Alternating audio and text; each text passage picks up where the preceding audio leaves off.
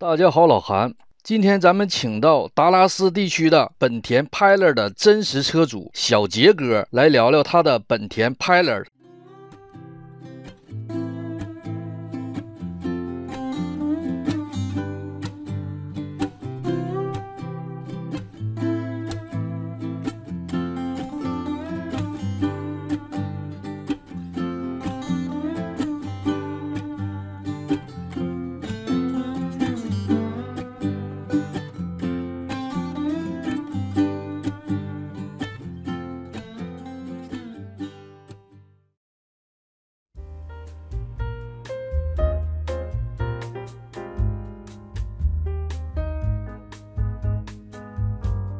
感谢大家订阅、点赞、转发、点亮小铃铛。首先，我先啰嗦几句哈。本田 Pilot 定位于 Mi-size 跨界 SUV，用本田自己的话说叫 Mi-size Family SUV。首代车型面世于2002年，可以看出来呀，由于当时大环境的影响，Pilot 多少沾点社会，多少带点硬派特征。不管是从车身结构啊，还是从对外宣传，都是带点硬派特点。但从第二代、第三代，由于硬派 SUV 的日子啊不好过，Pilot 也就成为了纯公路行驶的过日子的 SUV。现款 Pilot 为第三代产品，二零一五年开卖。这些年呢走过来，汉兰达成为了 Pilot 心中难以绕过的结。这么大气的本田都在官网上极力的展示对汉兰达的优势。现款 Pilot 配的是三点。五升 V 六发动机加九速自动变速器。目前现款车型分为六个档次的配置等级，除了顶配和熏黑版只有四驱之外，其他的版本均有前驱和四驱选择。下面让我们以热烈的掌声欢迎小杰哥。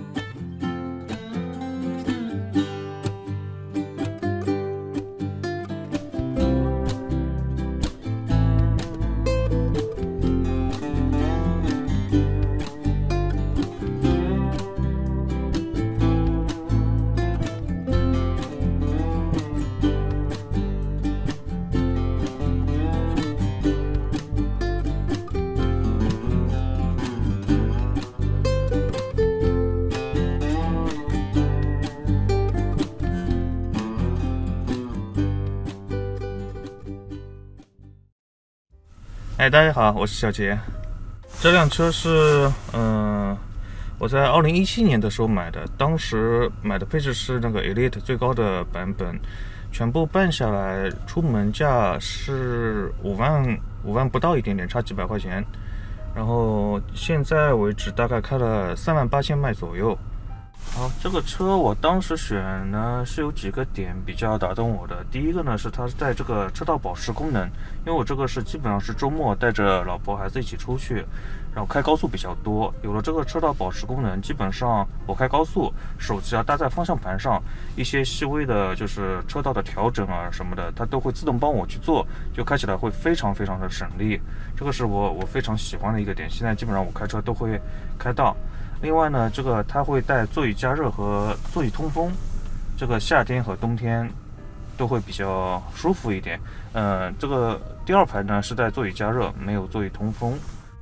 还有它的这个换挡杆呢是按键式的，这个其实习惯了之后呢是比较方便的。然后因为没有这个挡把嘛，所以这一块地方会比较空一点，感觉会更宽敞一点。原车自带的 CD，这样子小孩子如果是长途的话，看一会儿动画片、电视会也会不会那么无聊。空调的话，它是分三个区域，这样子前面、左面、后面都能够设置设置到自己比较舒服的一个温度。这个车呢，它这个会带这个换挡拨片，但实际上呢，我其实一次都没有用过。因为确实也也不是性能车嘛，用不到。但它会带一个方向盘加热，会比较舒服，尤其是现在天比较冷。第二排呢是带一个天窗，也是会敞亮一点。视线基本上我开过的车里面是比较好的。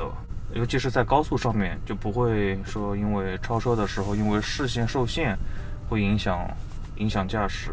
视线坐姿也比较高，然后呢，第二排的，尤其是它第二排座椅的话，它是两个独立座椅，所以第二排的话，坐的人会比较舒服一点，空间也比较大。尤其是当初，呃，买这车很大一个原因也是因为它空间比较大。导航页面以及系统的话，其实我大部分时间都是直接开着地图在这里，然后导航的话，其实这个地图我是蛮喜欢的，基本上不会有出错。也基本上能够可以给我一个比较合理的路线规划，以及有这种的交通的实时的提醒，这一些都还挺实用的。嗯，基本上我我保养都是在 dealer 去保养的嘛，然后基本上每次去他们要保什保养什么，让我做什么，我基本上都做了。小如果是小保养就比较便宜嘛，可能七八十块钱就好了。如果是涉及到他们说就是相对来说项目比较多的时候。最多的时候，我我好像花过七八百的样子吧，其其实还好，就是小保养的时候比较便宜，我换换东西比较多的时候就会贵一些。因为当时主要有一点是，最大的项目是变速箱油，好像是在三万迈的时候换的。然后他说的是，因为我这个变速箱是，呃，他们本田的变速箱是九个档位和十个档位的，都会要，好像是比较多的变速箱油和要用机器什么的，那个比较贵一点。他当时还那个处理的人还专门来跟我解释了这个情况，其他的项目就是嗯就还好。当时有跟什么其他车比较吗？想要买一辆就省心一点的车，基本上就可能只是在看日系。我看了一下 Toyota 的，然后但是可能内饰我可能觉得就比较嗯不是太喜欢。Toyota 的海海兰德。对，然后在呃就基本上就是。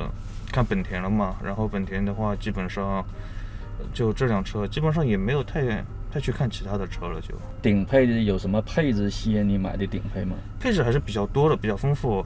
它有那个 ACC 的跟车自动跟车，然后是车道保持、防碰撞预警、座椅加热、座椅通风、两个天窗，然后带 DVD。因为我有小孩，所以可能后后排带个电视比较看重。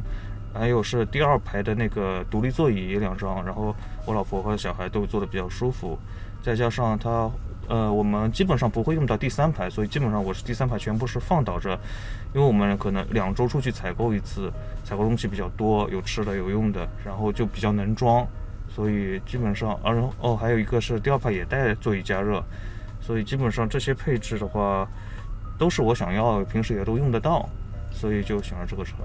那你买这个车之前，你开的是什么车？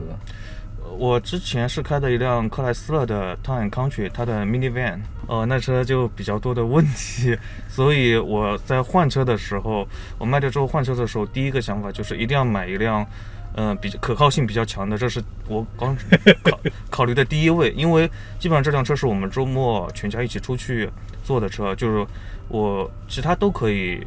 忽略，但一定是不能把我们全家是撂在撂在半路上，这是第一位考虑的事情。那听你这个话里话外的意思，在那个车上受伤不小啊。嗯，基本上我应该是不可能去考虑美系车。我就我就举一个例子，当初我那辆 minivan 要去保养，那我原本预计可能半小时一小时就好了，结果里面的工作人员就跟我说，发动机有点有点问题。让我车放在那里两个礼拜，直接就是买买了多长时间？发动机有问题啊？半年不到，半年不到，发动机有问题。对他还要恭喜我，是在 是在保质期内，就是是免费的。整个把一个对不起你的事变成了帮你忙了，是吧？对。所以当时我被他说了忽悠的，也也挺开心啊，就是哎免免费的，不用我花钱。后来回到家，这个事越想越不对劲，就。这个质量，我他妈新买车给我换发动机。对我只是去做个保养，然后还有各种问题，很多平时就是发电机、座椅等等等等，非常多的就是小问题特别多。最近卖了两辆车嘛，一辆是当时的 Mini 克莱斯勒的 Mini Van，还有一辆是 Honda 的 Accord。然后这两辆车我都是卖给 CarMax 的，然后我的 Mini Van 拿去 CarMax 的话。那是我第一次卖给 CarMax，然后他们前前后后查了一个多小时，我在我在休息区等了将近一个小时，然后当时我以我以为可能他们收车比较比较严谨，比较比较仔仔细细。就后来我去卖 Honda Accord 的时候，基本上他们就花了五到十分钟，查一下里程，查一下保养记录，查一下呃 Carfax 的那个事故记录，然后就给我开 check 了。我就说。这样就好了吗？然后工作人员就跟我说：“对，这个只要这样就行了。”作为美系车主，我有点接受不了。我就说是，就是相差太大了，就是。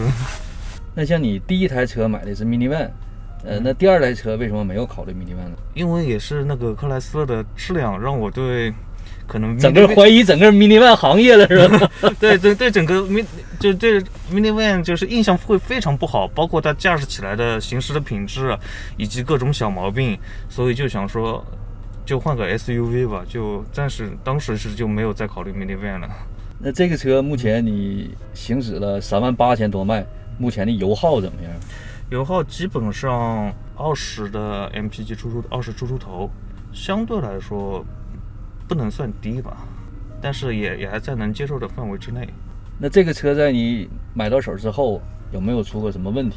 基本上除了轮胎被扎过两次钉子，在那里我连这个前机盖都不需要开，一点都不用管，只是呃到保养时候它会有亮灯提示我要保养了，其他是真的是很非常省心，就基本上是达到我我当初购车的预期。那这个车你买来之后，你觉得让你最满意的一点是什么一点？最满意一点就是空间方面，空间方面，尤其是第二排，我因为我们可能周末出去，可能要开一个小时车、两个小时车，然后小孩啊，我老婆坐都是坐在第二排，他们就坐的比较会比较舒服一点，然后这个这个是我最满意的。那这个车买回来有没有什么你最想吐槽的？那就是它的那个自动启停，自动启停真的是就是开车第一件事就是要把自动启停关掉。你等红绿灯的时候，如果忘记关，然后突然发动机发动一下，然后你立即踩油门的话，车会有个比较大的顿挫，就特别不舒服，非常不喜欢，就是这个自动启停。那你觉得这个车你会长期持有吗？在那个前几个月，Toyota 的那个 Sienna 刚出来，新款的刚出来，我也是当时看的你的视频嘛，就觉得，呃，因为我我买车，因为这个是家用的，很看重第二排，然后它的顶配第二排是带那个腿托的，所我当时非常心动，想要换那辆车，后来发现它是四缸的。它不是六缸，然后如果是我看了一下网上的评价是，如果是急加速的话会非常的吵，所以我就后来就说，哎，暂时先不考虑了。所以这辆车基本上，我如果要换它，肯定不会是因为它自己本身有问题，一定是其他新车出来了，有其他的点打动到我了，我才会去换。这辆车本身我一点没有任何想要换它的理由。即便是换车也是喜新了，绝对不厌旧。啊，可以这么说。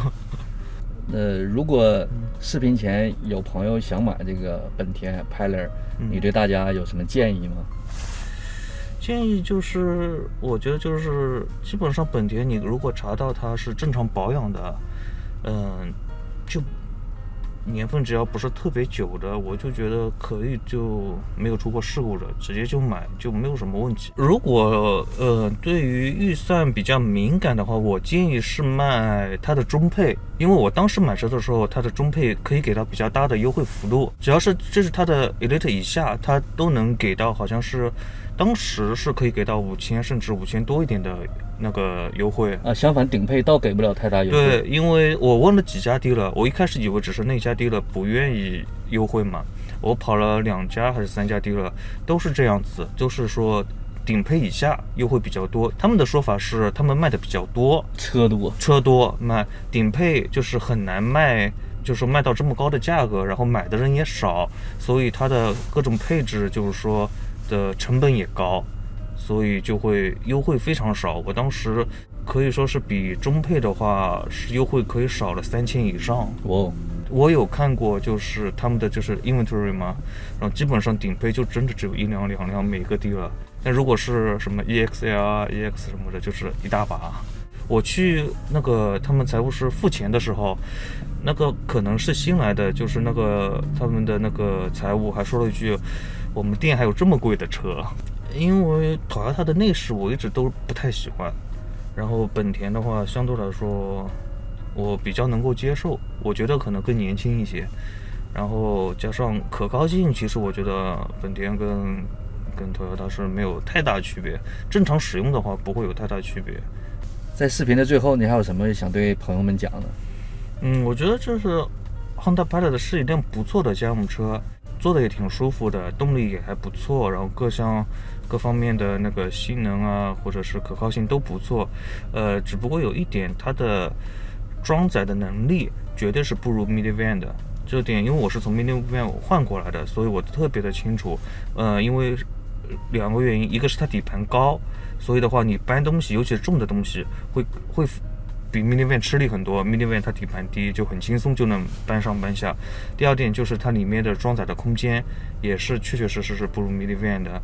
然后，但相相对来说是还可以的，但如果要去拿跟拿 Minivan 比的话，就还是欠缺不少。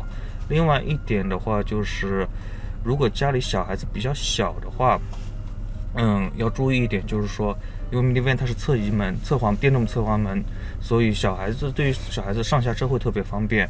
这是 SUV，然后包括我有小孩，买了这辆车之后，小孩尤其是小孩开车门的时候要注意。我小孩就是开车门没有拦着点，直接有。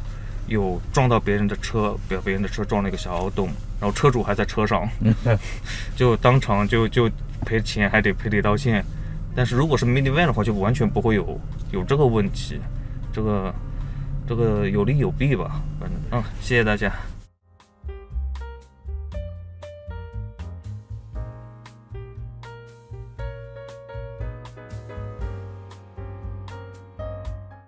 以上为小杰哥的 Pilot 的视频，希望透过真实车主的分享，能够为对本田 Pilot 有购买意向的朋友提供些许帮助。那不断呢，也有朋友陆续表达了对这种真实车主分享视频的这种题材的喜爱。那么只要大家喜欢看，咱就弄干就完了。最后再次感谢小杰哥，感谢大家观看以上视频，谢谢大家。